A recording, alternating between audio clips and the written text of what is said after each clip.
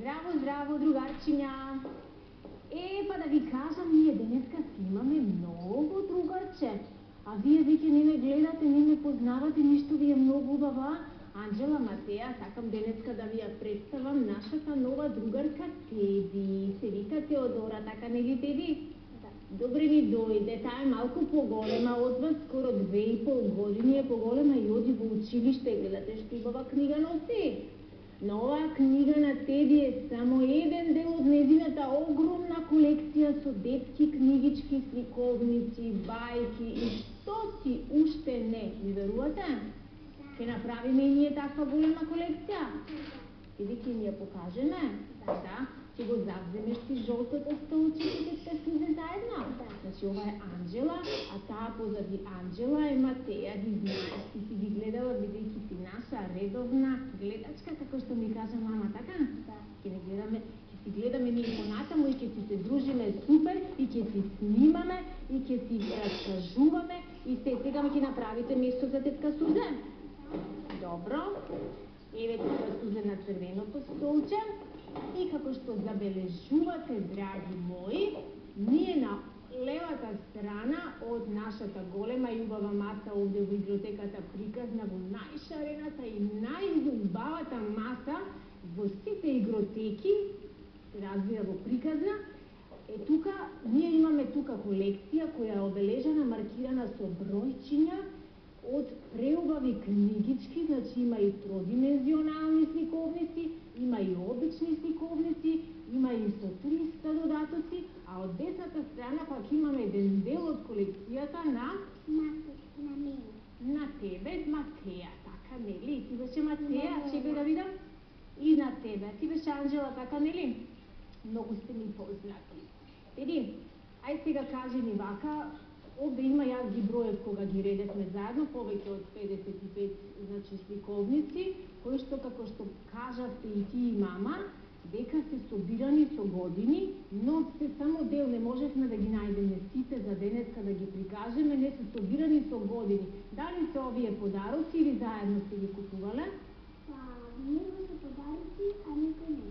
Некој не се, така. Имаш ли ти помеѓу сите овие некоја што ќе ја издвоиш да речеме како Милена, како нај-нај фаворит фаворит книгичка или стиковница, сите деца ја сакаат црвенка, па ја сакаат да заспаната убавица, нели снежана и седумте джуджиња. Тие се закон, тие се класика во светот на, на стиковниците и со нив почнува да се развива фантазијата, посебно на девојчињата, така нели теди? Но некоја што не ја знаеме, ние овде сме раскажувале, сме раскажувале многу, многу, многу сликовници и бајки, но некоја која што не секојдневна, имаш ли некоја така? имаш. Таму ти криеш многу во овој волшебен свет, криеш многу бајки, многу сказни, но тоа во следната емисија ти ми раскажеш, така нели? Кажи ми, а, даваш на секој да ти ја чачка, да ти ја листа и така понекогаш и невнимателно да ти ги превртува страниците?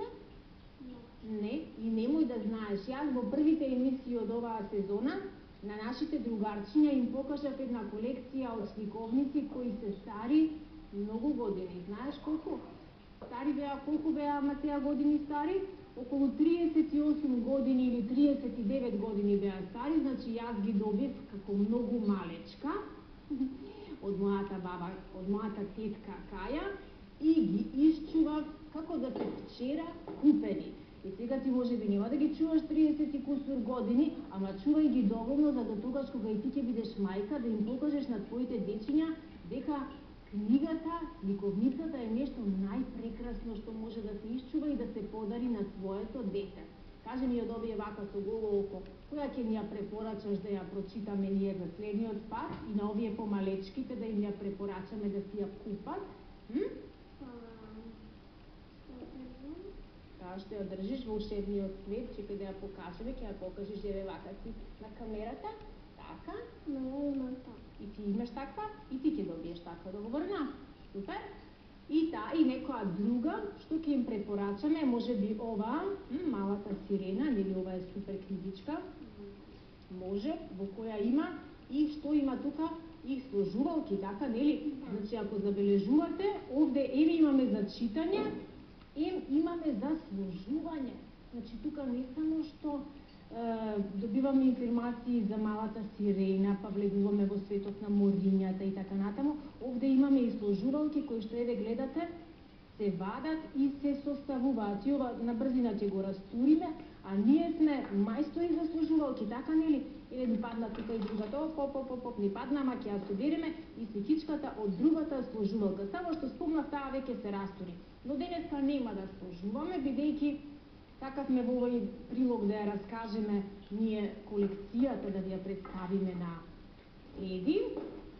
Се разбира да ги собереме, ајде Матеја помогни ми да ги собереме а, парченцата од оваа служувалка и се разбира да ви представиме дел од колекцијата со барби, значи вакви барбики, такви барбики, која исто така брои некаде околу 60 барбики мајки, барбики деца, по некој кен кој останал жив, не знам зошто, ама девојчињата не ги сакаат кеновите воопшто, значи тоа ми е по статистика докажано.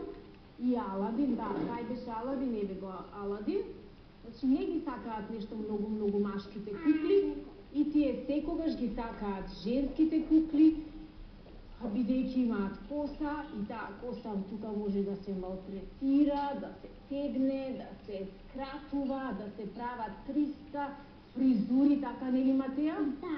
Понекогаш и да се осакати, како што се осакатени овде многу коси на барбикиве, понекогаш и да се ишкрта немилосрдно нивното лице од пенкала до разноразни шминки, фломастери и така натаму и да не личи повеќе на таа на таа барбика, еве може би само оваа останала неуништена во косата, така нели оваа беше скиорка, имаше и ски, имаше и оваа беше снежана, нели, но и таа ете со фризурата малце така како да станата оспиење и Покахонтас беше многу убава во, во косата, но ете и таа настрада пак така малку како мениена ни дојде, но тоа е тоа женските дете сакаат да експериментираат многу со косата. Нели Теди, се сложуваш?